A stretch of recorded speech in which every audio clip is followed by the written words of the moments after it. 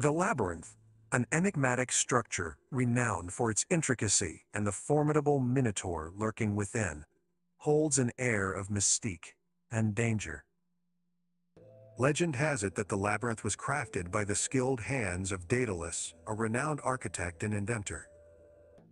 As we journey with Theseus, the valiant hero, we are transported to ancient Greece, where the fate of Athens rests on his shoulders. Imagine standing at the entrance of this mythical labyrinth, feeling a mixture of awe and trepidation. The sun casts angled rays through the tall stone walls, illuminating the narrow corridors that wend and twist in bewildering complexity. Theseus, fueled by determination and the weight of his sacred duty, takes his first step into the labyrinthine maze. The narrow corridors seem to stretch endlessly before him, concealing the Minotaur's lair deep within. The echo of his footsteps reverberates through the stone walls, reminding him of the path he must tread to ensure the safety of his beloved city. With each turn he takes, the air becomes cooler, and a sense of foreboding engulfs him. The labyrinth tests not only his physical strength, but also his mental fortitude, as he must rely on his wits and intuition to navigate the complex twists and turns. With unwavering resolve, Theseus walks deeper into the heart of the labyrinth, his senses heightened by the awareness of the Minotaur's presence. Beads of sweat form on his brow, and an adrenaline-fueled anticipation courses through his veins.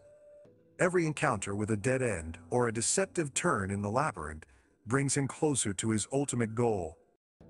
It is in these moments, when panic threatens to seize him, that Ariadne, the daughter of King Minos, extends her aid. She gifts Theseus a ball of thread, guiding him through the labyrinth's maze of passages, allowing him to retrace his steps and find his way back. Firmly holding the thread in his hand, Theseus continues his perilous march deeper into the labyrinth. The essence of darkness envelopes him as he delves further into its depths. His senses sharpen, and every corner he turns could potentially lead him to the Minotaur's gruesome domain. The labyrinth seems to possess a malevolent life of its own, attempting to confound him at every opportunity. Yet Theseus remains resolute, propelled by his duty to end the reign of terror inflicted upon Athens by the Minotaur. The struggle against the labyrinth mirrors the complexities of his mission, symbolizing the inner battle between order and chaos, bravery and fear. Finally, after countless treacherous corridors and mind-bending passages, Theseus reaches the heart of the labyrinth. The sheer magnitude of the moment hangs heavy in the air. The Minotaur awaits, an abhorrent creature with a fearsome roar and unsatiated lust for blood. Theseus, devoid of fear, squares his shoulders and brandishes his sword, determined to vanquish this monstrous threat. In a fierce battle that shakes the very foundations of the labyrinth, Theseus emerges victorious, his unwavering courage prevailing over the beast that had terrorized and made his people for far too long.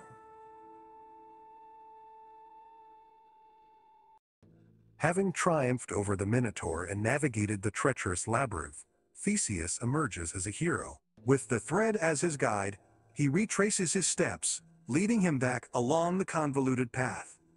As he steps out into the open air, sunlight embraces him, its warmth a stark contrast to the darkness that lurked within the labyrinth. The people of Athens rejoice, celebrating the courageous deeds of Theseus and their liberation from the Minotaur's terror. Theseus's mission is complete, leaving behind a tale that will echo throughout the ages, forever etched into the annals of Greek mythology.